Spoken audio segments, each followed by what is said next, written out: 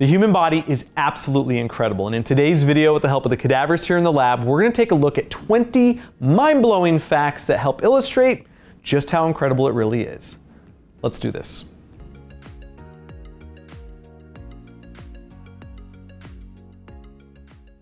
If someone were to have their heart removed, you know, like Indiana Jones style, just minus the forceful entry and bursting into flames, the heart could actually continue to beat, as it does in Indiana Jones, for around three minutes. And that's because the heart is capable of what's called self-excitation, which is where the heart muscle itself is what determines when it's going to beat. This is completely independent of the brain, although the brain can come in there and does play a role in some ways at times. I'm just saying the heart doesn't need the brain to beat. And this is important because if you had a head injury and you went unconscious, and you couldn't tell the heart to beat, that's a big problem because neurological tissue can start dying in around 90 seconds or so. If you could unfold the respiratory tubes within the lungs and then lay them flat, you would get a surface area around 50 to 75 square meters, which is roughly the same size as a tennis court. This is due to the fact that the bronchial tubes have 33 generations. So what that means is that the trachea here is one generation, and then what happens is it splits into the primary bronchi, and that's the second generation. Then those will split again into the lobar bronchi, creating the third generation. That happens 33 times, and it just fills up the entirety of the lungs, which is why you're going to have such a large amount of surface area because 33 generations is just a lot. Humans are born with around 300 individual bones, but by adulthood, they reach an average of 206 bones. And that is due to bones actually fusing together to form just larger bones. But the reason why I say average is because variability exists within our species. And some people, possibly even you, have extra bones that the rest of us don't have. And a good example of this are what are called Wormian bones. Wormian bones are islands of bone that form within the cranial sutures. These Wormian bones can arise anywhere within the sutures and look different from person to person. So, some people may have lots of Wormian bones while others may only have one or none at all. Determining how many skin cells we lose per day is actually a little more difficult than you may imagine, but it's often cited that we lose anywhere between 30 and 40,000 skin cells per minute, which would mean we're losing around 1.8 to 2.4 million skin cells every single hour, which would then mean we're losing between 43.2 and 57.6 million skin cells every single day. That's dusty. The human eye consists of photoreceptor cells called rods and cones. Rods are active during low light situations, and cones are responsible for processing color. However, the human eye only has three types of cones, which are sensitive to wavelengths that correspond to red, blue, and green. Through color mixing, lighting, and various other neurological processes, it's often cited that humans can see around 1 million or so different colors, all originating from three different cones. The human heart beats between 2.5 and 3 billion times over the course of your lifetime. Now, given that the heart pumps around 2,000 gallons or 7,570 liters of blood per day, that means over your lifetime, this thing is pumping around 55 million gallons of blood or around 208 million liters of blood. That is, that's incredible. On average, you breathe somewhere around 20,000 times per day, which adds up to 672 liters or 178 gallons of air, which is enough to fill up 850 balloons.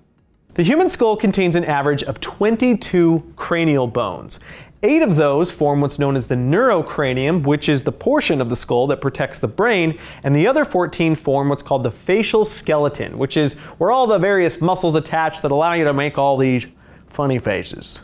Your epidermis, which is the top layer of your skin, completely replaces itself around every 27 days or so. During that time, the cells will shrivel, get stuck to one another, and then burst and their fatty insides will waterproof the skin. If you have a faster turnover than the 27 days, well, what will happen is the skin cells can start flaking and breaking off before they actually die, which is why you can see very irritated and even bloody skin. Your kidneys filter around 190 liters or 50 gallons of blood every single day, producing around 1 to 2 liters of urine during that same time. The human brain contains 86 billion neurons and averages around 1,000 to 10,000 synapses per individual neuron. This suggests that there's somewhere between 86 trillion and 860 trillion synapses in the human brain. That is more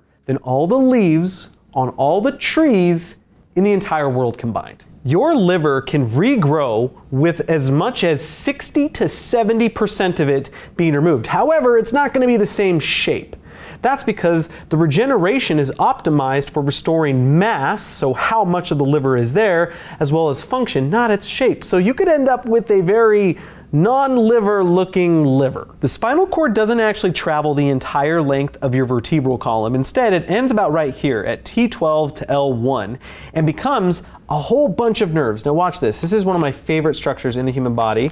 And you can see it just kind of like spreading out this is what's called the cauda equina, and it means horsetail.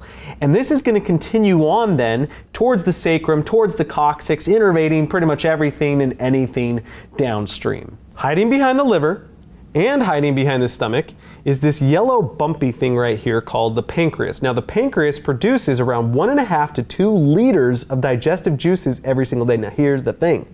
It doesn't place those digestive juices into the stomach. Instead, it drops it into the first part of the small intestine here called the duodenum. And these juices will help break down fats, proteins, and carbohydrates. An average adult produces about one liter of saliva every single day, which means over the course of a year, you're producing 365 liters or around 96 gallons of saliva. Put another way, that is about 28,000 liters or 7,400 gallons of saliva over the course of a lifetime, which could fill 90 bathtubs up with spit. The human eye blinks around 15 times per minute, keeping the eye lubricated and free of dust. That equates to around 900 blinks per hour, 21,600 blinks per day, and around 7.9 million blinks per year, and that, that was exhausting.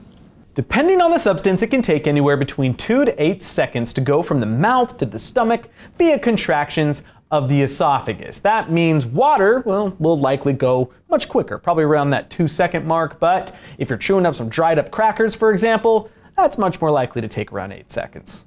Neural impulses traveling through a nerve can travel as fast as 250 miles per hour or 402 kilometers per hour, at least at its upper range. The speed can vary quite dramatically depending on the myelination or basically the fatty wrapping of the neuron, but still, I mean, 250 miles per hour, that's insane. There's essentially no muscle tissue in the fingers themselves. All the soft tissue you're feeling is going to be skin, fat, and just various connective tissues.